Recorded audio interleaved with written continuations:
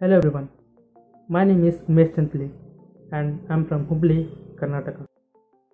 I'm currently working at Capgemini as a security analyst and I'm here to share my experience about the SOC Experts Learning Center.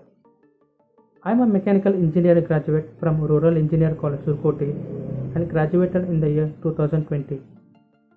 I got to know about the SOC experts from one of my relatives and I didn't know what a SOC is all about.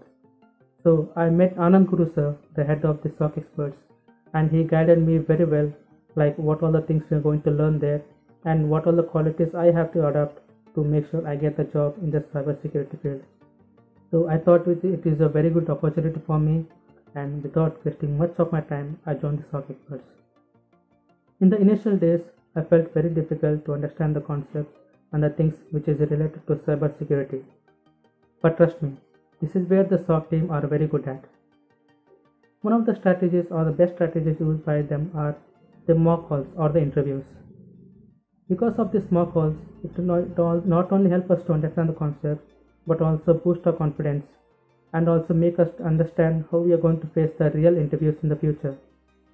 And talking about the trainers, the trainers are very good and very humble.